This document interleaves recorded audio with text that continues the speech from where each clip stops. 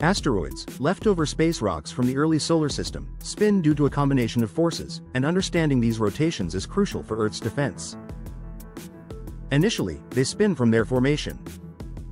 Collisions with other space objects can alter their spin rates, directions, or even cause them to break apart.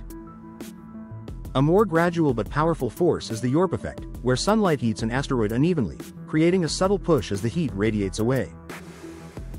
This effect can slowly speed up or slow down an asteroid's spin, or even change its axis over long periods. Scientists monitor asteroid spins using telescopes to observe light changes in radar to map their shapes and rotations.